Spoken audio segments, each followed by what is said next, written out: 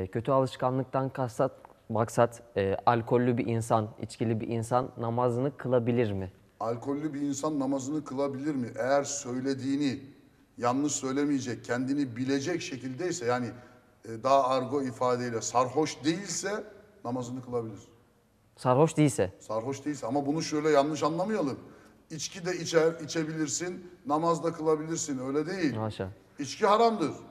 İçiyorsan nefsine uymuşundur. Ama içki içiyorum diye namazı terk etme hakkın yok. İçki içiyorum diye namazı terk etme hakkın yok. Hani bir takım sözler vardı hocam, e, izleyicilerimiz de e, bilirler.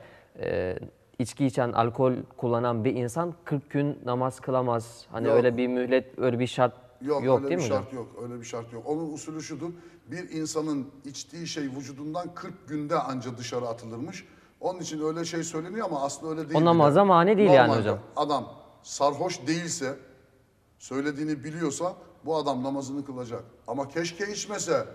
Zaten içki içen adam ne kadar namaz kılar böyle soruyoruz ama bunun da uygulanmışı var mıdır yok mudur onu da bilemiyorum yani. İnşallah kimse içkisini içmez.